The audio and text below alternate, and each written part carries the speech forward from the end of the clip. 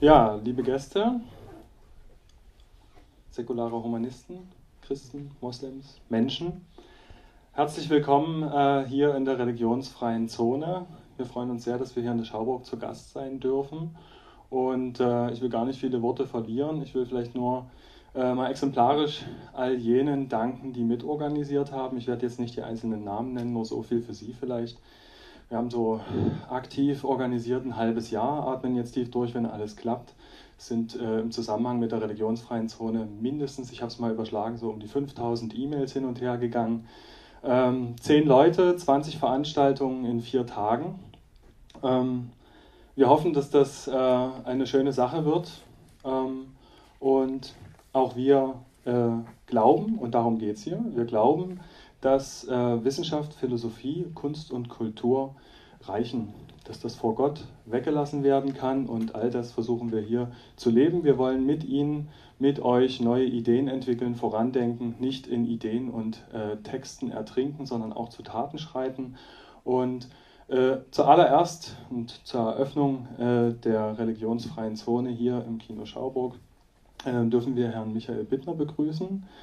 Ähm, es ist eine große Freude. Er wird also den Reigen der Lesungen hier äh, eröffnen. Er ist äh, in Görlitz geboren, lebt in Dresden und schreibt äh, Wochenendes für die SZ eine Kolumne. Ist ansonsten einer der fünf Autoren äh, der Lesebühne Sachs Royal in der Scheune.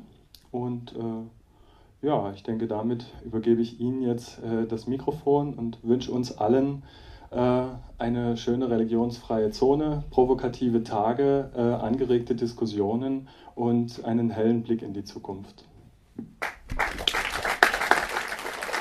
Ja, ich äh, bedanke mich auch bei Ihnen, dass Sie gekommen sind zu dieser frühen Stunde, um 17 Uhr schon. dass Sie es geschafft haben, ich vermute mal, es liegt daran, dass Sie arbeitslos sind und nicht durch den Stau mussten. Ähm, ich bedanke mich auch beim Gefahr e.V. für die Einladung. Und ich versuche dem gerecht zu werden, indem ich ein, eine Reihe von kleineren Texten vortrage, die im weitesten Sinne mit Religion zu tun haben. Ähm, ein paar Kolumnen, ein paar Essays, ein paar Geschichten und ich hoffe, Sie haben Spaß bei dieser Lesung. Der erste Text, muss ich vielleicht noch dazu sagen, ist entstanden in einem anderen Zusammenhang. Man kann sich als Autor nicht immer aussuchen, worüber man schreibt. Manchmal bekommt man auch Aufträge.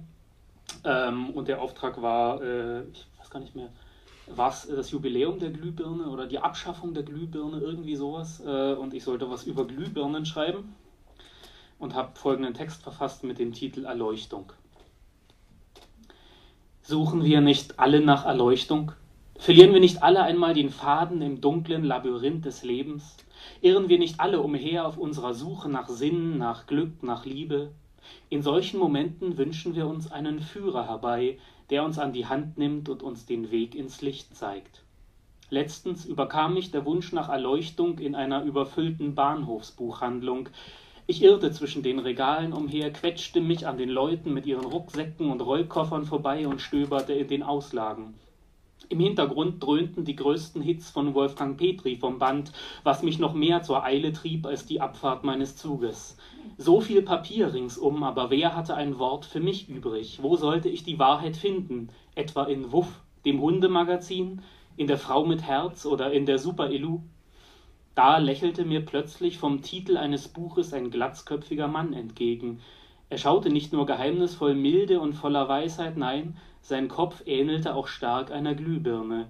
Das musste die Erleuchtung sein, nach der ich so lange verzweifelt gesucht hatte. Es war der Dalai Lama. Sein Buch hieß Ratschläge des Herzens. Ich ging hinüber zur Kasse und bot der Verkäuferin an, für das Werk mit einem gütigen Lächeln zu bezahlen, aber sie bestand auf 8,90 Euro. Natürlich kannte ich den Dalai Lama schon aus dem Fernsehen. Besonders beeindruckt hatte mich immer seine unermüdliche Tätigkeit. Dieser Mann ist ja nicht nur reisender Vertreter für Liebe und Frieden und König von Tibet außer Dienst, er schafft es auch noch nebenberuflich als Halbgott zu arbeiten, und trotzdem verliert er nie die Geduld und sein verschmitztes Lächeln. Ihm bleibt sogar noch die Zeit, um persönliche Freundschaften mit anderen Erleuchteten wie Roland Koch CDU zu pflegen. Im Zug fing ich an, in den frisch erstandenen Ratschlägen des Herzens zu blättern. Ich war wie geblendet von der Weisheit, die mir schon auf den ersten Seiten entgegenstrahlte.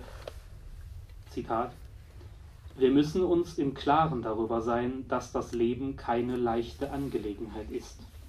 Und dann folgte ein guter Ratschlag auf den nächsten. Es war erstaunlich. Der Dalai Lama hatte wirklich für jeden Menschen den passenden Tipp parat. Zum Beispiel für die Alten. Denken Sie an all die Menschen, die jung sterben, und freuen Sie sich darüber, dass Sie ein langes Leben haben dürfen. Oder für die Kranken, nehmen Sie doch einfach das Heilmittel. Oder für die Sterbenden. Der Tod ist ein kritischer Augenblick und es ist sinnvoll, sich gut auf ihn vorzubereiten. Oder für die Selbstmordgefährdeten. Ganz allgemein gesprochen, verzichtet ein Mensch, der sich umbringt, auf jede Möglichkeit, sein Problem zu lösen. Oder für Ehepartner. Der Mann muss seine Frau zufriedenstellen, und die Frau muss den Mann zufriedenstellen. Oder für die Armen, es hilft überhaupt nichts, verbittert zu sein und sich gegen die Besitzenden aufzulehnen. Oder für die Politiker, Ehrlichkeit ist eine ganz wesentliche Eigenschaft. Ja, sogar den Soldaten redete der Dalai Lama ins Gewissen. Zumindest müsste man dem Krieg wieder eine menschliche Dimension verleihen merkwürdig. Die Ratschläge des Dalai Lama erinnerten mich an die Besinnungsaufsätze, die wir als Schüler in der Unterstufe schreiben mussten. Es schien ihm wirklich gelungen zu sein, sich seine Kindlichkeit zu bewahren. Tatsächlich räumte er ein, sich nie mit einem Übermaß von Bildung belastet zu haben. Wenn junge Menschen nicht all ihre Anstrengungen aufs Lernen konzentrieren, dann wird es ihnen später schwerfallen, diese Lücke zu füllen. Ich habe das am eigenen Leib feststellen können. Dennoch war er zu seiner bewundernswerten Weisheit gelangt. Ich überlegte lange, was sein Geheimrezept sein könnte, da stieß ich auf die entscheidende Zeile. Ein großer Teil unseres Leids rührt daher, dass wir zu viel denken. So einfach hatte der Dalai Lama sich also vom Leid der Welt befreit. Er hatte das Nachdenken eingestellt. Ich las weiter. Ich spürte, wie ich Seite um Seite dem Innersten des Heiligtums näher kam. Das Mantra des Gurus versetzte mich in Hypnose. Von einem gewissen Standpunkt aus ist es möglich, alles von der positiven Seite zu sehen. Selbst Leiden kann als wohltuend betrachtet werden.